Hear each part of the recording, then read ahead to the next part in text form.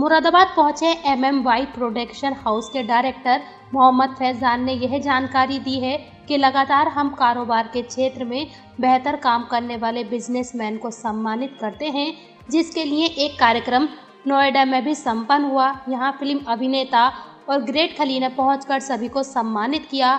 अब ऐसे ही कार्यक्रम लगातार उत्तर प्रदेश और उत्तर प्रदेश के आसपास के प्रदेशों में यह कार्यक्रम आयोजित हो रहे हैं। पटना में भी अब बिज़नेस अवार्ड फ़ंक्शन आयोजित किया जा रहा है, जिसमें पूरे देश के कई बिजनेसमैन को सम्मानित किया जाएगा। ऐसे कार्यक्रम उत्तर प्रदेश के कई जिलों में भी आयोजित होंगे।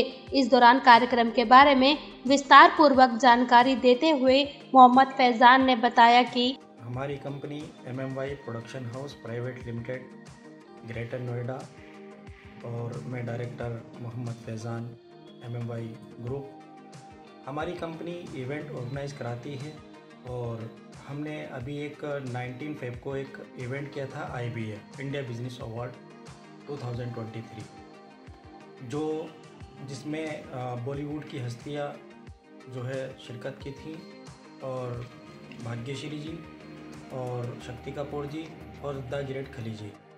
वो हमारा सफल रहा और रिसेंटली हम लोग एक इवेंट ऑर्गेनाइज करने जा रहे हैं पटना में I B A India business award 2023 ये 29 अप्रैल को है पटना में और एक हम 15 अप्रैल को जो है Asia Pacific excellence award Delhi में कर रहे हैं देवम पैलेस में, जो कि 15 अप्रैल को है।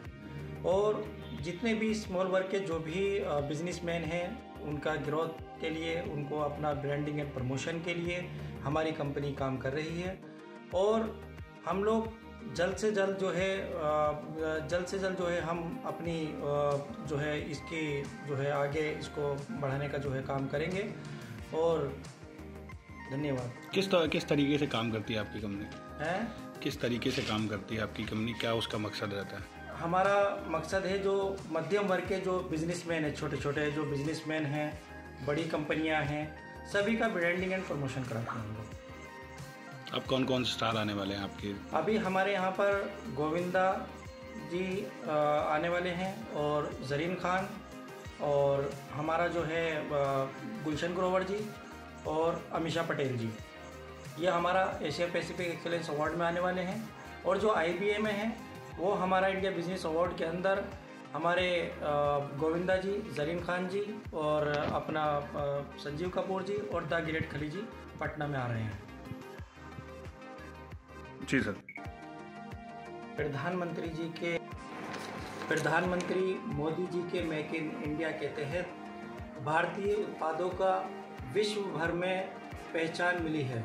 ऐसे भारतीय उत्पादों को बनाने वाले उद्यमी को हम लोग सम्मानित कर रहे हैं, ताकि यंग व्यवसायी और आगे आए।